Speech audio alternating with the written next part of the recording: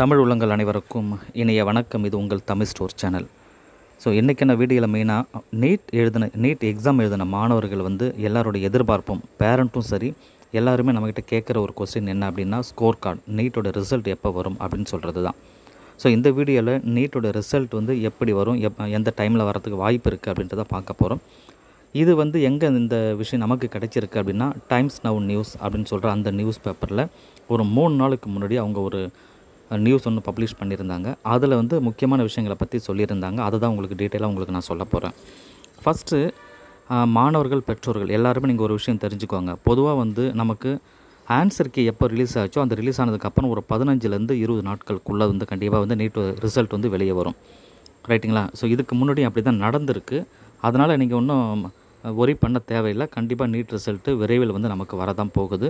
எல்லாருமே அடுத்தடுத்த கவுன்சிலிங்க்கு நான் போக தான் போகிறீங்க பட் இருந்தாலும் இந்த நியூஸ் பேப்பரில் என்ன மாதிரியான விஷயங்களை நமக்கு சொல்லியிருக்காங்க அப்படின்னு சொல்கிறது தான் டீட்டெயிலாக உங்களுக்கு நான் சொல்கிறேன் இந்த நீட்டுடைய ரிசல்ட்டை பொறுத்த வரைக்கும் எக்ஸ்பெக்டட் டேட் அப்படின்னு சொல்கிறது அக்டோபர் எண்டில் வர்றதுக்கு வாய்ப்புகள் உண்டு அப்படின்னு சொல்லி சொல்லியிருக்காங்க. அக்டோபர் எண்டு அப்படின்னா இருபத்தொம்போது முப்பது அந்த தேதிக்குள்ளே கண்டிப்பாக வர்றதுக்கு வாய்ப்புகள் உண்டு.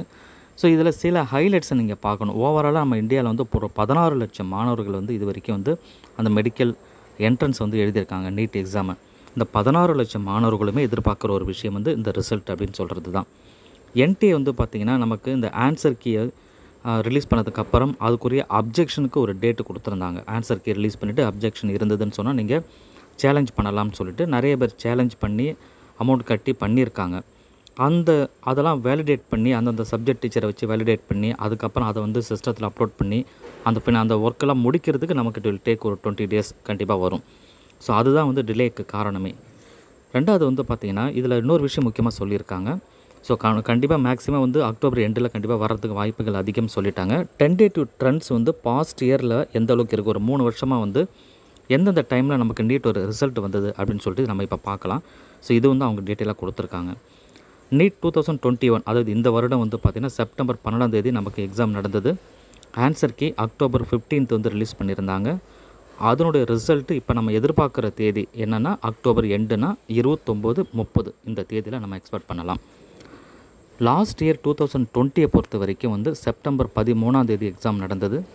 ஆன்சருக்கு ரிலீஸ் பண்ணது செப்டம்பர் இருபத்தி ஆறு. ரிசல்ட் வந்து நமக்கு அக்டோபர் சிக்ஸ்டீன்த் பதினாறாம் தேதி ரிலீஸ் பண்ணியிருந்தாங்க.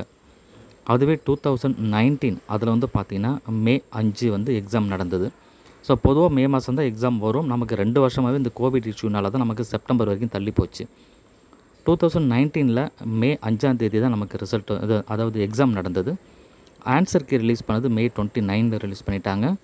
ரிசல்ட்டு ஜூன் நான்காம் தேதி ரிலீஸ் பண்ணியிருந்தாங்க. இந்த மூணு வருடமே பாருங்கள் உங்களுக்கு இதை பார்த்தே உங்களுக்கு புரியும். ஸோ எந்த அளவுக்கு வந்து ஆன்சருக்கு ரிலீஸ் பண்ணதுக்கப்புறம் ரிசல்ட் வர்றதுக்கு எத்தனை நாள் கேப் இருக்குன்னு பாருங்கள் அந்த கேப்பு தான் இந்த வருஷம் நம்ம எதிர்பார்க்கலாம். ரிசல்ட்டோட டென்டேட்டிவ் டேட்ஸ் வந்து பொதுவாக நான் ஏற்கனவே சொன்ன மாதிரி ஒரு பதினாலு பதினான்கு நாட்கள் வந்து ஆகணும். அது அதாவது ஆன்சர் கீ வந்து. அது நான் வந்து மேக்ஸிமம் வந்து டுவெண்ட்டி டேஸ் வரைக்குமே நம்ம கணக்கு வச்சுக்கலாம். ஸோ இது வந்து இது ரிலீஸ்லாம் வந்ததுக்கப்புறம் ரிசல்ட் வந்ததுக்கப்புறம் இம்மிடியட்டாக நமக்கு வந்து பார்த்திங்கன்னா மெடிக்கல் கவுன்சிலிங் கமிட்டி வந்து கவுன் கவுன்சிலிங்க்கு கால்ஃபர் பண்ணுவாங்க. ஷெடியூல் கொடுத்து கால்ஃபர் பண்ணுவாங்க. அதாவது எம்சிசி அவங்க தான் ஃபஸ்ட்டு கால்ஃபர் பண்ணுவாங்க.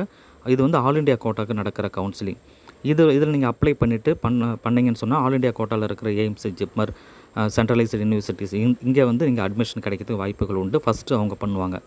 அதுக்கப்புறமா தான் நமக்கு வந்து பார்த்திங்கன்னா தமிழ்நாடு மெடிக்கல் என்ட்ரன்ஸ் வந்து கவுன்சிலிங் ஸ்டார்ட் பண்ணுவாங்க. ரெண்டாவது இந்த எம்சிசி கால்ஃபர் பண்ணுறதுக்கு அந்த ஷெடியூல் ரிலீஸ் பண்ணுறதுக்கு எக்ஸ்பெக்டட் டேட் அப்படின்னு பார்த்தீங்கன்னா நவம்பர் ஒன்றாம் தேதி வரலாம்.